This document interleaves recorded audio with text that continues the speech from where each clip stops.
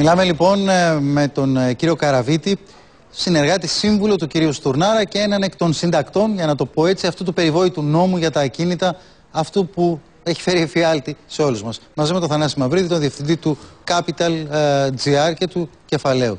Κύριε Καραβίτη, είναι η πρώτη φορά που γίνεται μια παραδοχή. Γράφετε ένα φόρο, ε, νομίζω 3,6-3,7 θα γράψετε. Και θα Από εισπράξετε. ό,τι ξέρω είναι, είναι περίπου 3,5 δις. 3,5 δις, πολύ ωραία. Και θα εισπράξετε 2,855. Κάνω λάθος. Αυτή περίπου είναι η όχι, πρόβλημα. καλά. Κάνετε λοιπόν μια παραδοχή Ναι, ναι. ότι ένα μέρος του κόσμου δεν θα πληρώσει. Σωστά; Ε, όχι ακριβώς, αλλά είναι, δηλαδή; καταλήξτε και θα σας πω. Εάν Κοιτάξτε, κάνετε αυτή την πάντοτε παραδοχή, σε έναν φόρο- με εκπλήσει το γεγονός Υπάρχουν διαρροές. Ναι, ναι, ναι, κατανοητό. Πάμε στο ερώτημα για με να. εκπλήσει να το δούμε. γεγονός ότι επιβάλλεται ένα φόρο το, από τον, τον οποίο περιμένετε ότι δεν θα τον εισπράξετε. Θα πρέπει να ξε, νομίζω ότι θα πρέπει να ξέρετε εσείς καλύτερα από όλους ότι φόρος που δεν μπορεί να όλους, ότι φόρος που δεν μπορεί να εισπραχθεί Ποιος σας πολύ το απλά είπε δεν μπαίνει. αυτό.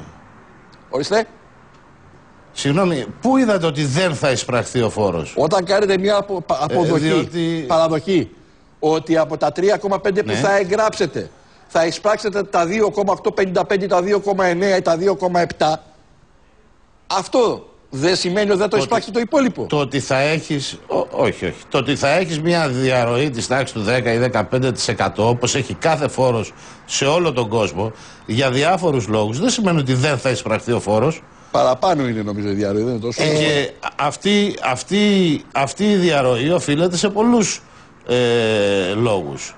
Ε, μην μπορεί να το υπάρχουν αναλύσουμε, πνευματικοί μην το λόγοι, αναλύσουμε. υπάρχει Εγώ- διαφορά αυτή κάποιος ποιος θα την πληρώσει, αδυνατή, κύριε. Ε, μη- οι ε, τόσο- δόσεις, το ένα, το άλλο. Εμείς με άλλους τρόπους θα να την πληρώσουμε. Εγώ, κύριε Καραβίτη, θέλω να βάλω ένα ζήτημα ακόμα. Δεν έχουμε χρόνο γιατί πρέπει να σας αποδεσμεύσουμε. Για να βλέπαμε μαζί ένα βίντεο με μαρτυρίες πολιτών που καταγράψαμε σήμερα από εφορίες. Απόγνωση. Σου λέει για... Θέλετε, θέλετε να το σχολιάσω; Όχι, όχι, θέλω να σας πω λίγο αυτό το κομμάτι που όλοι μας συζητάμε μεταξύ μας. Είμαι σίγουρος και εσείς, ως πολίτης. Ότι δηλαδή και να θέλω να το πουλήσω το ακίνητο σήμερα για να πληρώσω τους φόρους, αν έχει τύχει να έχω δύο και τρία, γιατί είμαστε σε μια χώρα με υψηλή ιδιοκτησία.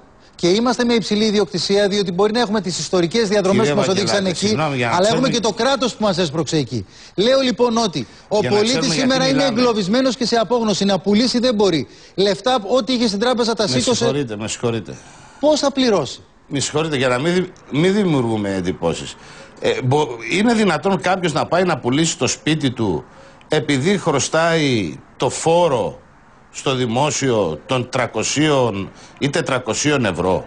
Ποιον; Είναι δυνατόν. Ποιον; Τι λέτε κύριε Καραβίτη, να Αυτός σα ο πω φόρος- γιατί με, αυτό, τώρα, με, αυτό τώρα που λέτε με εκπλήσει Άρα εμένα. μιλάμε για φόρους κάποιων εκατομμυρίων. Ένα λεπτό, ένα που λεπτό. δεν είναι Να για σας πω μένα λοιπόν η- λίγο γιατί επειδή Και ζούμε. για σας. Όχι, όχι. Να, επειδή ζούμε στην ίδια χώρα όλοι, να σας πω λίγο αυτό που είμαι σίγουρος ότι ξέρετε. Ε, γιατί πραγματικά το είπα και πριν, θα το επαναλάβω. Ξέρω ότι είστε σε θέση δύσκολη. Δεν θα ήθελε κανείς μας να είναι στη δική σας θέση. Αλλά ξέρετε τον πολίτη που έχει το σπίτι με το δάνειο, που κινδυνεύει να το χάσει από την τράπεζα, που του το φορολογείτε τώρα με αυτό το νόμο με αντικειμενικές αξίες που δεν έχουν καμία σχέση με την πραγματικότητα, κύριε Καραβίτη. Είναι ψεύτικες, ψευδεπίγραφες, αλλά αυτές λαμβάνετε υπόψη. Που δεν έχει να πληρώσει όλους Ε, τους και φόρους. αυτό δεν Ένα είναι- λεπτό να σας το πω και για αυτό ποιο δεν πολίτη είναι μιλάω. σωστό. Που δεν έχει να πληρώσει το ΕΤΑΚ του 10, του 11, του 12 και του 13 που θα έρθουν μέσα σε 4 μήνες από το Σεπτέμβρη μέχρι το Δεκέμβρη. Και είναι συγκεκριμένα τα στοιχεία που λέω. Και ψάχνει σε απόγνωση για να μην του πάρει το σπίτι η τράπεζα. Γιατί ετοιμάζεστε να κάνετε πληστηριασμούς και στην πρώτη κατοικία. Ετοιμάζεται λοιπόν, ψάχνει αγωνία να βρει να το πουλήσει και δεν βρίσκει. Γι' αυτό τον πολίτη μιλάω.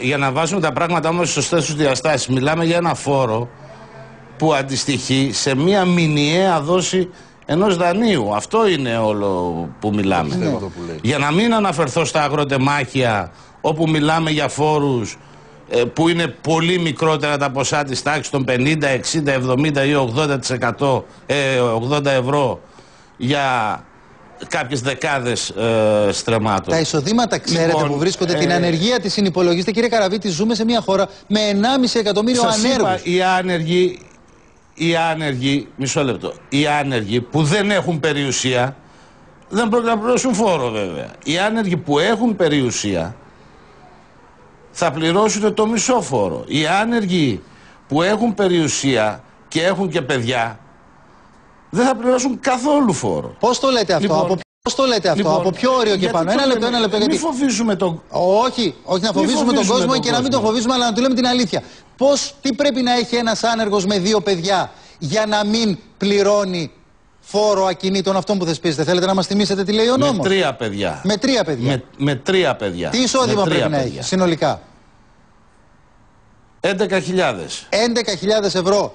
Αν Περίπου έχει 1.000 πάνω. ευρώ το, το αν, μήνα. έχει, αν λοιπόν ένας ο οποίος έχει ένα εισόδημα μέχρι. Οικογενειακό.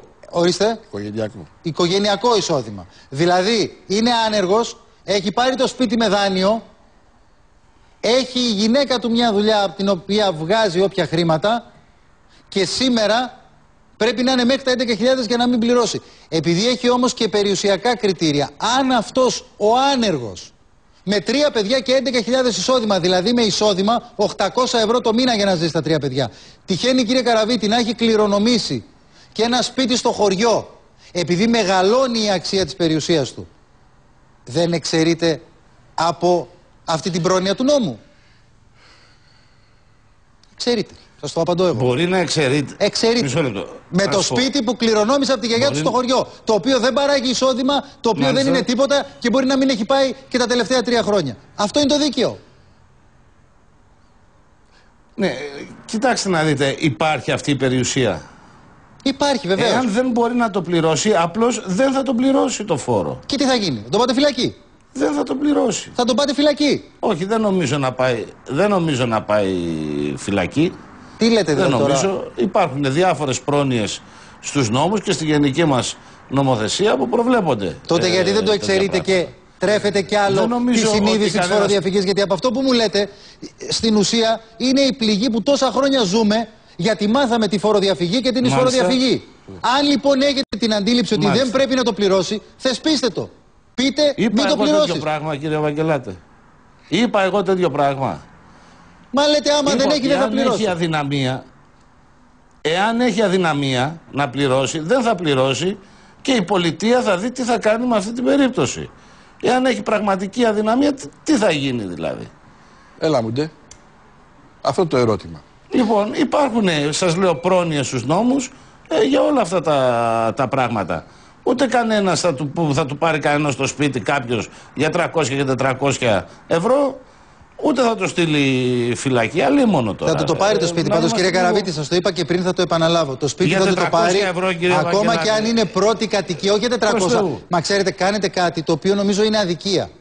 Απομονώνεται ένα το φόρο. είδατε αυτό ότι θα Αυτός ο του πάρουν πολίτη. το Σας σπίτι; είπα πριν, ακούστε, σας είπα πριν ότι έχει να πληρώσει ΕΤΑΚ για 4 χρόνια, έχει να πληρώσει τη δόση του δανείου του στεγαστικού του, γιατί τα περισσότερα από αυτά τα σπίτια που μιλάμε με δάνειο Με είναι. συγχωρείτε, με συγχωρείτε. Και έχει να Κύριε πληρώσει Βαγγελάτη, το αν έχει φόρο να πληρώσει και θέλω ΦΑΠ να ρωτήσω και τώρα ΤΑΚ για τέσσερα αυτό, χρόνια, γιατί το έθιξα πριν. σημαίνει ότι έχει περιουσία πάνω από 400.000. Γιατί λοιπόν αυτή την περιουσία. Με ποιες αντικειμενικές, κύριε Καραβίτη. Ακριβώς αυτό. Γιατί αυτή Με την το περιουσία 2008. δεν τη φορολογείτε με τις νέες αντικειμενικές αξίες; Γιατί κάνετε κάτι το οποίο θα Δεν μπορούσε να λογιστεί φορολογείται κλοπή, με αυτόν τον κοροϊδία; τρόπο.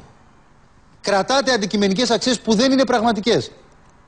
Γιατί το κάνετε αυτό; Ε, και ο νόμος, εάν το διαβάσετε προσεκτικά, θα δείτε ότι δεν φορολογεί τις αξίες.